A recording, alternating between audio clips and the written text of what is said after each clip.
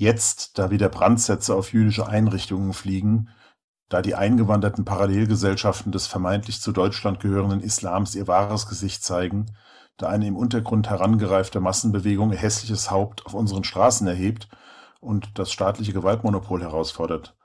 Da schauen sie auf einmal alle ganz betripst aus der Wäsche. Die jäh aus ihrem Dornröschenschlummer gerissenen Gutmenschen, die Haltungsbrahmanen der politischen Heuchlerkaste und die Selbstbeweihräucherer des Feuilletons.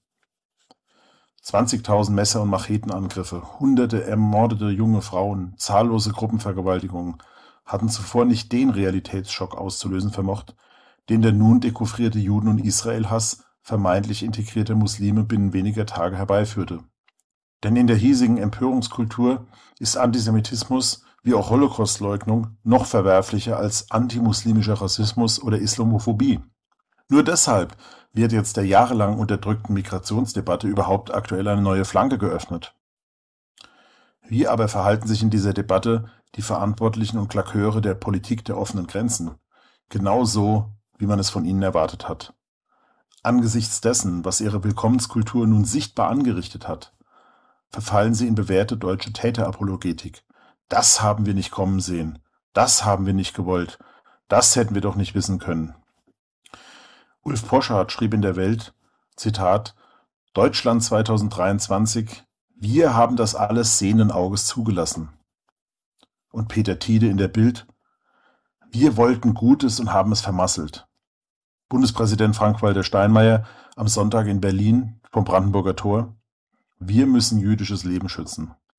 Wir, wir, wir. Ähnlich äußern sich viele weitere Journalisten und Politiker, vom hinterwäldlerischsten Leitartikler bis zum Edelklossisten, vom Bürgermeister bis zum Minister. Auffällig ist hierbei vor allem der inflationäre Gebrauch des Wir. Es ist quasi der Pluralis Majestatis der moralischen Überheblichkeit, in dem weiterhin die jahrelange Ausgrenzung all derer mitschwingt, die eben sehr wohl und sehr früh genau das hatten kommen sehen, was sich in Berlin, Düsseldorf, Frankfurt und in vielen anderen deutschen Städten dieser Tage abspielt. Niemand hat aber auf sie gehört. Denn es galt ja wir gegen die. Hier waren die Anständigen, dort waren die Aussätzigen. Ihr Anständigen habt nicht nur die schleichende Islamisierung zugelassen und die Migration mit euren Refugees Welcome, wir haben Platz und euren Keinen Mensch ist illegal Kampagnen immer weiter vorangetrieben. Nein, ihr habt weit Schlimmeres getan. Ihr habt all jene, die frühzeitig vor eurer selbstmörderischen Naivität gewarnt haben, stigmatisiert. Ihr habt jede sachliche Debatte verunmöglicht. Ihr habt jede Forderung nach Rückkehr zum geltenden Recht, zu geordnetem Grenzschutz, zu einer kapazitätsorientierten Aufnahmelimitierung gleichgesetzt mit braunem Gedankengut. Ihr wart es, die jede Warnung vor Islamisierung auf eine Stufe gesetzt haben mit Rassismus und Fremdenhass. Wer am Ende Recht behielt, das zeigt sich heute in unseren Straßen. Wer hierzulande rechtzeitig die Scheuklappen abgenommen hat, dem musste die verheerende Entwicklung früh bewusst sein, die jetzt in den Krawallen und Gewaltexzessen von Neukölln und anderswo kulminiert. Ich habe kein Erbarmen mit denen, die uns acht Jahre lang irrational, hysterisch und oberflächlich in die Nazi-Ecke gedrängt haben, weil wir unter der Weltoffenheit etwas ganz anderes verstanden haben als Menschen ohne Kenntnis ihrer Identität, Herkunft und Motive wahllos ins Land zu lassen. Weil Toleranz und Religionsfreiheit für uns nicht bedeuten, einen islamistischen Untergrund in Deutschland zu dulden, weil wir der Meinung waren, dass Einwanderung an strenge Bedingungen geknüpft sein muss.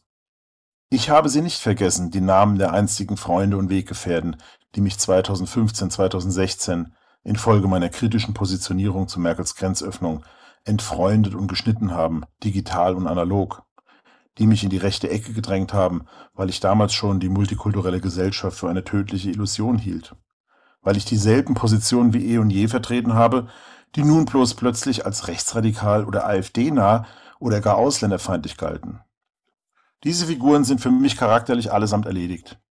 Und sollte sich der Wind hierzulande tatsächlich noch einmal drehen, wofür es mutmaßlich schon zu spät ist, und sie ihr Fähnchen dann wieder einmal erwartbar opportunistisch in den Wind drehen, dann sollen sie sich unterstehen, Bedauern oder Reue zu heucheln und mir nachträglich Recht zu geben. Darauf kann ich verzichten. Ich vergebe euch so wenig, wie viele ungeimpfte jenen vergeben können, die sie noch vor kaum mehr als einem Jahr gesellschaftlich ausgeschlossen, geächtet oder gar geprügelt sehen wollten. Und zwar nicht, weil ich persönlich zu den zahllosen Fällen gehört hätte, die berufliche Nachteile durch diese Stigmatisierung erfuhren.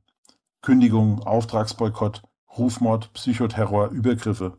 Ein Schicksal, das vielen anderen, von alternativen Medienmachern bis AfD-Politikern, nicht erspart blieb.